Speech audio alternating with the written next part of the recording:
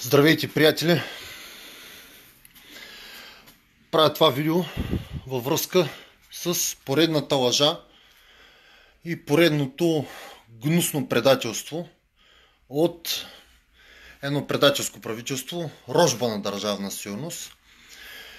Сега, спомните си случаят и няма как да го забравите по друг на случая на убийството на журналистката в Русия. Виктория Маринова. Това е убийство потреси цяла България. Всички бяхме убедени и сме, поне аз, че предателското правителство и техните приятели, като Делян Пеевски, са поръчители на това убийство, тъй като тя беше единствената журналистка, която направи репортаж за GP Gate, за източването на крупни суми от а, субсидии от Европейския съюз. Изгарянето на документи и така нататък. Месец след, а, месец след а, убийството й, ако тя беше жива, тя беше планувала да направи разследване къде са отшли а, парите за пострадалите в Хитрено. Всички знаете, че имаше а, какво се случи в Хитрено. Взриви се а, един една влакова композиция на Bull Market. Всичко беше отцепено, хората бяха изгонени от там, за да явно да се прикрият следите. Предполагаме, че там се е носило някакво оръжие, тъй като България е снабдител номер едно за оръжие на ислямска държава. И това сме го доказали. Имаме доста видео и клипове и снимки, статии от сирийската телевизия което при за превземането на територии, където ислямска държава е имала контрола, са намерени тонове и то стотици тонове българско оръжие от арсенал Казанлък. И България била, е основният снабдител за оръжие за ислямска държава. Сега, друг е поводът нали, за изявлението ми. Убийството на журналистката в Русия. Всички знаем, че а, т.е. не всички, малко хора знаят, но това не се тиражира по медиите, че парите, които а, трябваше да отидат за обещенията на, на пострадалите, на жертвите, защото там имаше убити изгорени а, в Хитрино, а, бяха, се държаха в първа инвестиционна банка. Първа инвестиционна банка, всички знаем, че е банката на Делян Певски. Адвокатът на пострадалите от Хитрино многократно е разказвал как въпреки наложения съдебен запор, тези пари са изчезнали от банковите сметки на Bull Тоест в момента имаме едно кухо дружество, което дори да бъде осъдено, няма да може да изплати обещенията и няма да бъдат удовлетворени. Тоест не може да говорим някакво удовлетворяване, ами а, покриване на минимална част от щетите, защото там бяха отнети човешки, е, човешки животи. Сега, след като това беше ясно на всички, тогава и намериха едно циганче от а, Русия, което обвиниха за убийството на журналистката. Въпросният си призна, доста, а, доста бих казал, нелогично беше и изявлението на негови роднини, които казваха, че той със сигурност се свидетелстваха срещу него, тъй като ние много добре знаем как се държат хората от ромската общност. И едва ли някога сме наблюдавали преди това по този начин те да, да обвиняват собствените си роднини. И да реално да им подписват присъдата. Ние всички много се очурихме за това нещо и разбира се бяхме готови за поредния фалш, който не закъсня след като отмина а, времето на шума около това убийство, всички медии спряха да говорят за това. В момента има друга тема а, за разглеждане, свалянето на правителство, тъй като и аз съм участвал в а, тези протести. И продълж, ще продължавам да участвам, разбира се, до свалянето на всички рожби на държавна сигурност. А, но, какво се случва, докато се развият тези протести? Въпросното циганче, Северин, мисля, че така му беше името, аз предполагах, че в крайна сметка ще се опитат да го оправдаят по някакъв начин с техните си машинации, както винаги са правили и са лъжили народа. Тъй като аз продължих да бъда сигурен, че Бойко Борисов и пасмината около него е виновна и е поръчала това убийство, тъй като аз знам как постъпиха те спрямо мен. Те със сигурност, за мен няма абсолютно никакво съмнение, че те Бойко Борисов и пасмината около него, Цветан Станов и другите подлоги на Американското посолство са поръчители на, това, на опита да бъда убит това лято. Спомням си много добре как те прикриха това, този опит за убийство, едва ли не се опитаха да го изкарат, че аз сам съм се застрелял. 8 пъти, представете ли се, 8 пъти съм се застрелял с два различни пистолета. После изкара, пуснаха някакъв слух, че съм се бил с карал с някакъв дядо и дядото ме бил причакал после, за да ми върне. Но обаче има един факт, който те не знаят. Аз не може да съм се скарал предните дни с някой, тъй като аз бях в Чехия. Аз бях в Чехия и се върнах предния ден и това беше първото ми излизане. Общо взето, когато ме постреляха.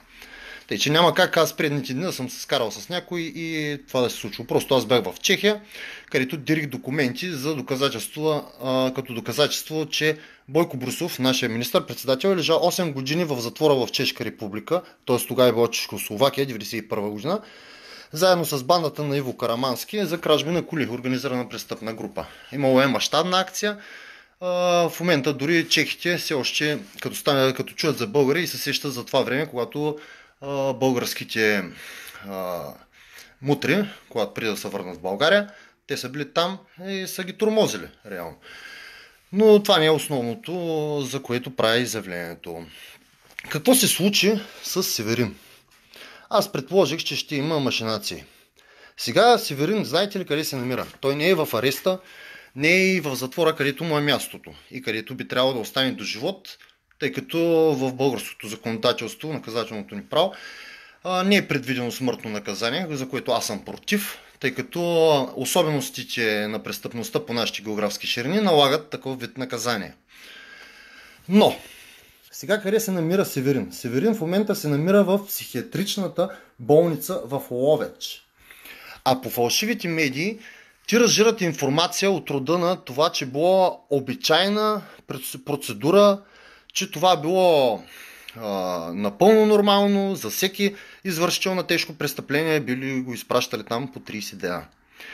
Тъй като по-голямата част от българите не са юристи, а, няма, не знаят, че това е една плитка лъжа и всеки, който е учил наказателно право, много добре знае, че това е абсолютна лъжа, тъй като в наказателния кодекс, сега ще ви покажа, това е моята библиотека от закони, само секунда. Наказателен несемейния кодекс е това. Така. Само секундичко. Къде е, наказа... а, е наказателен кодекс. Така.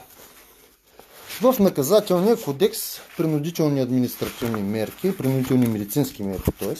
глава от общата част на наказателния кодекс пише много ето принудителни медицински мерки Вижте. Така.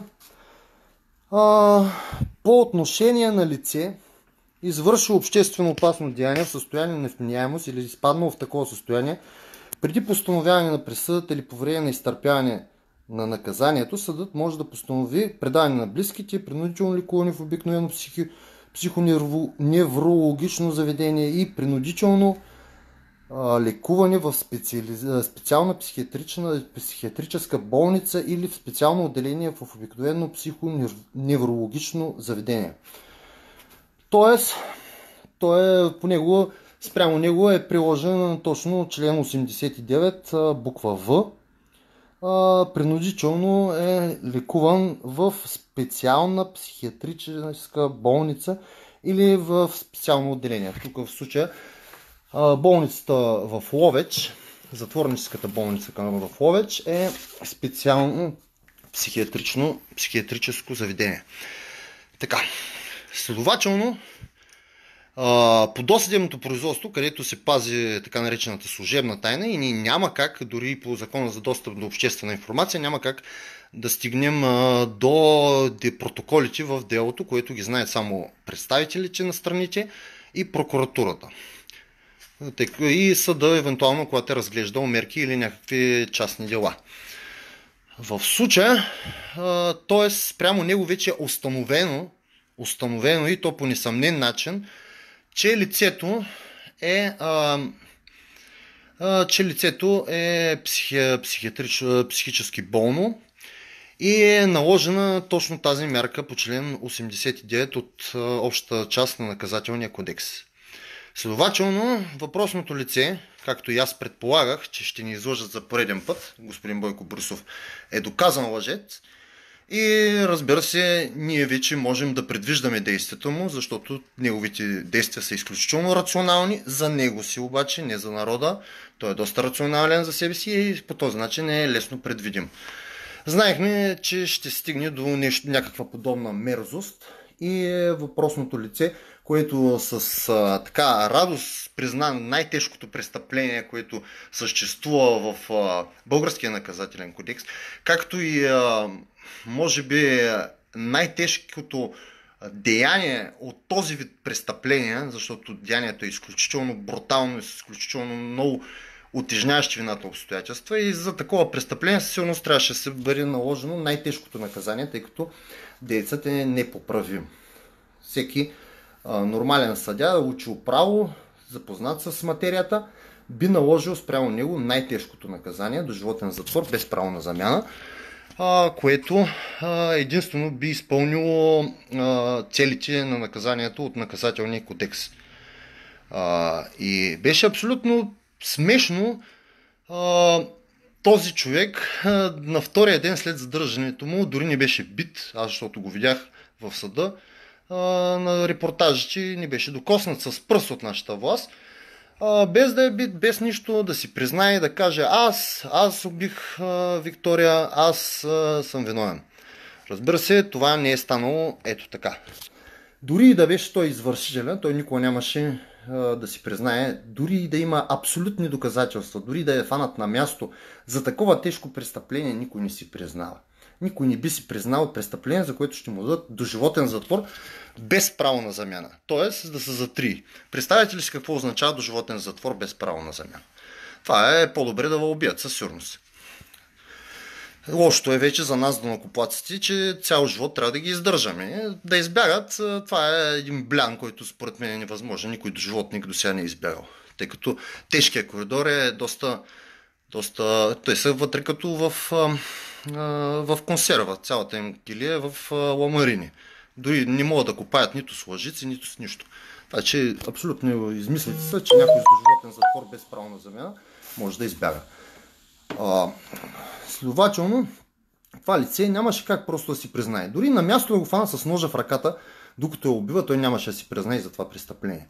Още по-малко майка му или леля му да дойде да, по телевизията да тръби и да говори и то от ромски происход, защото ние знаем как, действат те. Ох, детето ми, ох, той е добро момче. Слушали сме ги друг път, знаем техните, техния репертуар. Така че още когато чух тези неща, ми стана ясно, че това е поредната измама. И сега обаче тази измама излиза. Разбира се, от фалшивите медии това няма как да го чуете, след като те работят против българския народ. Винаги са работили против българския народ. Те си едно с политическата класа, те са създадени от едни и същи хора, от Държавна сигурност и Българската комунистическа партия след така нареченото падане на комунизма, който никога не е падал. В България комунизма никога не е падал. Все още комунисти са на власт и техните наследници. Следователно, сега, какво ще се случи с въпросния Северин? Северин най-вероятно сега ще бъде оправдан или ще му бъде прекратено наказателното производство срещу него, след като а, експертиза установи, че а, нали, той явно има тежко психическо заболяване, което е било известно от дълго време. и което а, отменя вменяемостта. Единственото нещо, което се установява, дали по време на деянието той е можел да осъзнава а, свойството и характера на действията си или да ръководи постъпките си, което със сигурност при такова тежко психическо заболяване, придобито, защото не се касае нали, за олигофрения, за дебилство, дебилство или деменция, това са вродените нали, психически заболявания, другите придобитите психически заболявания. Евентуално въпросното лице е болно от такова тежко заболяване. Това се е знаело предварително. Сега експертизата просто ще установи, че по време на деянието той не е могъл да осъзнава свойството и характера на действията си и да ръководи постъпките си, което е една, една логична развръзка при такъв тежък, тежко психическо заболяване. Затова те и Бегер просто се намериха. Намериха си а, човек, който да поеме вината а, с а, точно такава нагласа. В началото, докато има шум, той да бъде показан пред всички, че е хванат извършителя, че не са те, които са те със сигурност, защото те имат а, мотив около 500 милиона. Мотив не е малък, нали така? 500 милиона мотив си е доста сериозен. Хората се убиват за 100 хиляди лева на тези географски ширини. Много добре го знаете. А, и сега, този човек а, ще бъде вкаран сигурно за известно време в такава тежка психическа, в такава специализирана псих, психиатрична а, клиника, как тази в Овеч или в Раднево или в Карлуково. Последствие, след известен период от време, всеки 6 месеца, той има право да бъде преразглеждана мярката му спрямо него, т.е. на всеки 6 месеца. А, той дори мисля, че на 3 месеца, само да погледна в наказателния кодекс. Така. Така. На всеки 6 месечен, да. В 6 месечен срок може да поиска промяна на принудителната медицинска мярка спрямо него. Тоест, той вече да бъде в обикновено психиатрично заведение, каквото има във всеки град. И където се са необоспокоявано, са пускани да се разхождат навънка, в парковете, виждаме ги. Разбира се, бият им силни инжекции, но това е по усмотрение на лекаря след като имаш такива лекари, които да, а, да го прикрият това престъпление, нали, не се съмнявате, че а, тези, кои, на които той е свършил работа, няма да ще му осигурят със сигурност и други лекари, които да не му бият тези инжекции или които да се подписват, че той е там, а той всъщност да не е там. Защото това в затвора е много трудно да стане, но в една психиатрична болница е много лесно. А, след като бъде преместен там, неговата мярка не може да бъде направена по-тежка, да бъде върнат с една дума в това специализирано психиатрично заведение или в специализиран на част от обикновено психиатрично заведение. Защото при такъв случай това може да бъде налагано само от съда, т.е. при извършване на ново деяние, ново престъпление, много обществено опасно деяние, защото в случая не може да се казва престъпление, защото липсва субективния елемент на престъплението. И евентуално след една-две години ще му бъде променена мярката на най-леката мярка, най-леката принудителна медицинска мярка, т.е. да бъде оставен по надзора на негови роднини, които поемат отговорността да се грижат за него. Тоест, извършителя на едно от най-тежките престъпления, т.е. евентуално аз съм сигурен, че не е той извършителя, но този, който пое вината или поне а, се тиражираше пред целия български народ, че той е извършител, след една-две години най-вероятно ще си бъде в къщи под надзора на майка си и на баща си. Тоест под никакъв контрол. Бъдете сигурни, това е един, един абсолютно никакъв контрол. А, затова за нас няма никакво съмнение, че първоначалните съмнения са именно отговорът на въпроса кой уби а, принципната журналистка, защото в България има много малко принципни журналисти. Аз лично тъй като те са, знаете, в България медиите се делят на две, два вида медии. Пеевски медии и Прокопиеви медии. Има и малки сайтчета нагоре-надолу, но те нямат особено голям тираж.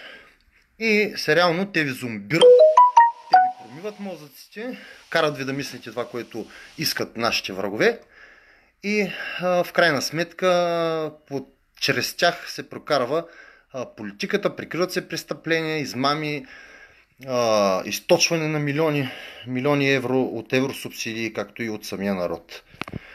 А, това е което исках да ви кажа, приятели. Искам да кажа още, че другата седмица продължаваме по всички направления. Ще блокираме отново а, надолу а, границата, за да се спре товарообмена, защото многократно съм казвал, че от протести в смисъл няма, особено пък в почивни дни. Протестите единствено те ни се подиграват, те си мислят, че ние просто отиваме да изпуснем парата и ще сме доволни след това. Медиите ни представят като 20 на хулиганчета, дето били излязли да пеят песни или агитки, или ултраси и така нататък. Аз никога не съм ходил на матчове, при... мисля, че последно ходих на матч, когато бях на, на 13 години, 7 клас, 7-8 клас за последно съм ходил на матч. Но както и да, аз футбол не харесвам. Но те на представят по този начин. Затова нашата цел е гражданското ни подчинение. Парализиране, парализиране на транспорта, парализиране на линиите за товарообмен, което ще пострада економиката, ще почнат, а, ще доведе до а, протести на работодателите, които ще започнат да губят, а, ще доведе и до протести и на работниците до стъчкуване, тъй като работодателите няма да бъдат способни да им плащат заплати. И това със сигурност може да доведе до смяна на системата. Разбира се, след всеки възход, преди всеки възход, човек трябва, някой път трябва да направи една крачка назад, за да, за да се засили и да направи един скок. Така че тези неща, които в момента се правят, са единствено за цел подобряване на положението в България. И ако други рожби на държавна силност, като Корнелия Нинова, БСП, ДПС или други партийки си правят оглушките или си мислят, или се облизват, или си потъркват ръце в момента и си мислят, че след като падне бок от тиквата е тяхното време, много се лъжат, много се лъжат, защото а, на а, небосклона ще излязат нови лица, доказани с годините със своята принципност. Аз деля на хората на, на принципни и непринципни разбира се, ще ни трябват и много тесни специалисти, от които ще дойдат от българите в чужбина, които са готови да се завърнат при условие, че им бъдат осигурени възможности за развитие в държавата. Аз съм против чуждите компании, против чуждите марки. Не, че, не, смят, не мисля, че това нещо трябва да се забраня, но смятам, че трябва да бъдат налагани неравностойни условия, данъчни и така нататък, когато става въпрос за чуждестранна компания или национална компания, така че българския производител винаги да е с огромно предимство, както това е в едни държави като Унгария, Полша, Чехия, Германия и така нататък. В източна Германия главно, защото западна Германия, знаете, че Меркел има абсолютна власт. И това е общо, което исках да ви кажа, че отново ни излъгаха, т.е. вас излъгаха, аз знаех много добре, че Бойко и Делян Певски са поръчителите на убийството на Вали, Виктория Маринова, а сега вече излиза наяве тяхната измама, че всичко е било наговорено между тях, явно са платили една огромна сума, защото въпросното лице вече е в психиатрична клиника. Извинявайте, ама има наистина луди, луди хора, психично болни, които наистина не осъзнават свойството и характера на, на действията си и не могат да ръководят постъпките си. И въпреки това, многократно съдебната система е, е оправила головите си разлики и статистики, въпреки че, са, че пострадат такива болести, са били осъждани и са лежали в затворите. А точно за това престъпление, за което цяла България се вдигна, цяла България беше възмутена, омерзена от това престъпление, защото един принципен журналист, един от малкото принципни журналисти, защото в България принципни журналисти няма отдавна, беше убит и то доста брутално, изключително брутално, въпросното лице вече е в някаква си психиатрична клиника в Ловеч. И те не убеждават в момента, че това е било стандартна процедура. Абсолютна лъжа. Всеки, който е учил право, много добре знае, че това е абсолютна лъжа, защото в наказателния кодекс е записано кога, кога, кога на такива лица се прилагат принудителни медицински мерки. Тоест, когато е установено вече, установено, че е извършено обществено опасно деяние в състояние на невменяемост. Тоест, вече според прокуратурата, прокуратурата явно а, счита, че а, въпросното лице е извършило деянието при невменяемост. Е един а, смешен факт, защото аз съм присъствал на много дела, в които прокуратурата вижда, че не е права, но въпреки това продължава да настоя до края и въпреки, че губи на първа и на втора инстанция, те продължават, продължават по всички възможни начини и машинации, само и само да бъде изпълнена някаква поръчка. А тук с лека ръка прокуратурата си го праща в, в болница, което е смешно, тъй като всички знаем колко е независима да съдебната система, в която част е прокуратурата и прокуратурата да вземе такова решение. Знаем, че това не е вътрешното убеждение на самия прокурор, а явно е става въпрос за поредния поставен прокурор, който, на който неговото лоби му се е обадило по телефона и му е казал или направо му е изпратил постановлението само да го подпише по, на Wordски файл, а он е да го разпечата и да си напише имената. И да го подпечата с, там, с печата на местната прокуратура. Това всичко на нас не е ясно, защото ние този църк вече го гледаме повече от близо 30 години. Дали ще търпим повече или ще се дигнем, това вече зависи от нас самите. Дали тук става въпрос за, за сила на волите и а, за, за, а, за размера на желанието. Тоест, ако ние достатъчно го искаме, ще го постигнем, а ако ни е през... А, не ни е толкова важно, най-вероятно няма да го постигнем. Смятам, че трябва да проявим силни воли, самоотверженост. Този момент е възлов. Виждам, че за разлика от протестите през 2013, 2014 и други такива протести, тук вече не се иска сваляне на правителство, а тук се иска вече сваляне на самата система и никой вече не иска да, да вижда нито един от тези, които са били до сега в политиката, а, във властта. Тоест, а, ние трябва да използваме тази народна енергия, която в момента е бушува и да изгоним тези, които окупираха политическия живот, обществения живот, от политиката и медиите, чак до културата и спорта още през 90-та година, когато трябваше да падне комунизма, но той не падна. При България имаше една подмяна, а не промяна. Това е разликата между България и другите страни от соцлагера, като Чешка република, Словения, Словакия, Полша, които са на едни светлини години пред нас. Техният стандарт е равностоен на, на гражданите в Западна Европа. Разбира се, тяхното ниво на силност е доста по-високо. Тъй като знаем какво се случва в момента в Европа след а, така наречения мигрантски наплив. Който не е наплив, а е продукт на пропаганда, която сами, същите тези, които ги пускат, провеждат в страните а, на народните страни на тези мигранти. Те им проповядват да идват в Европа, защото там ги чакали социални, руси жени с сини очи и така нататък, че ние европейците сме били вече а, импотентни и така нататък. Без, а, и това е друг вече въпрос. Но основното в момента е, че ние отново бяхме излъгани.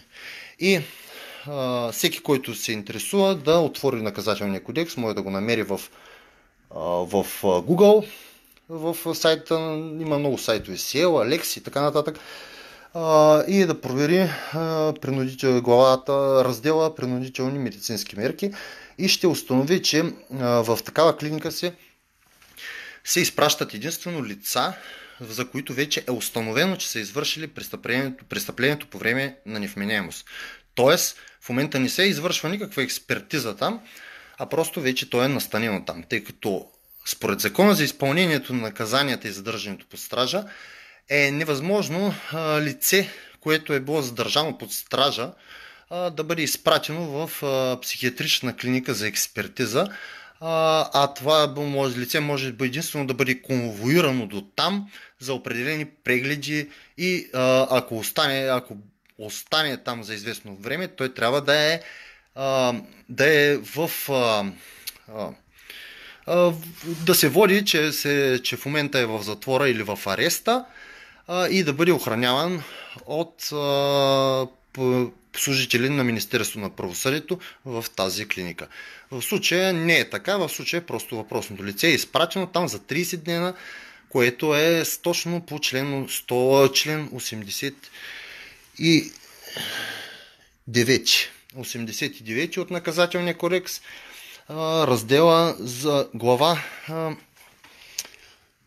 глава 11 от наказателния кодекс.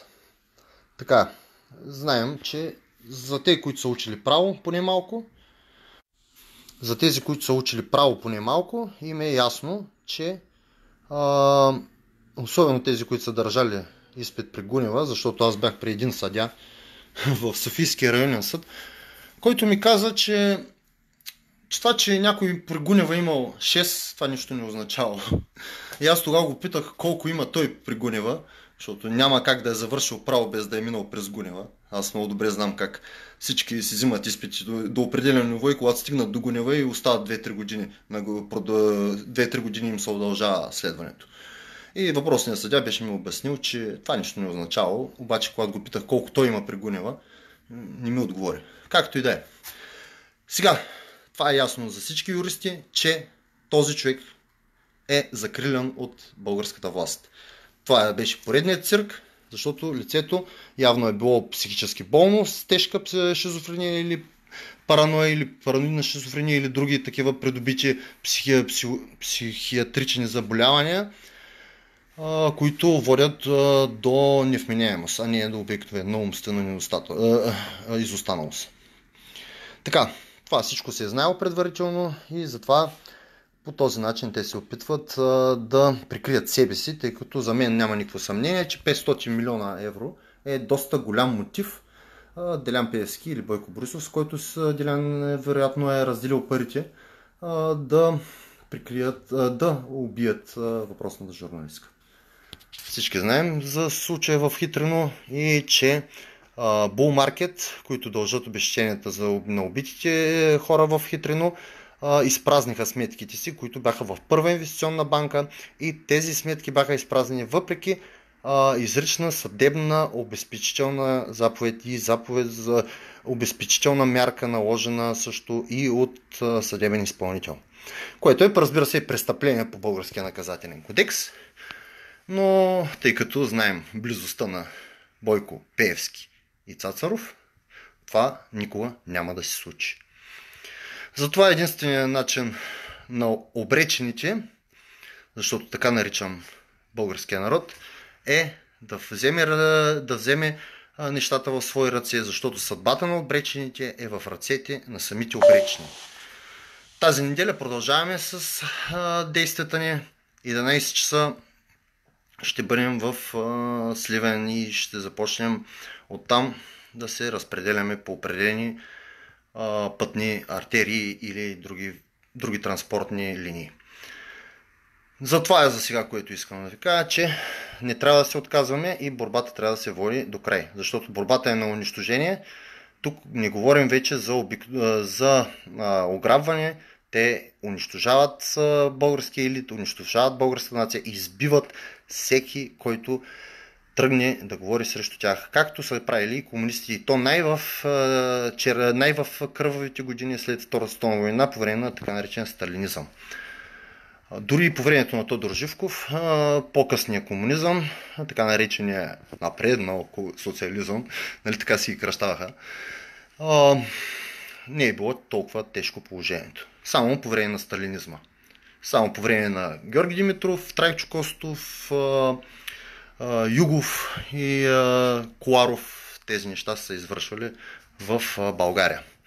Затова, както казах, съдбата на обречените е в, самите, в ръцете на самите обречени. Да живее България и не вярвайте на лъжи, моля ви се. Затворете, загасете си тези телевизори и не позволяйте да ви промиват мозък. Да живее България! Смърт за предателите! Това е по-важно.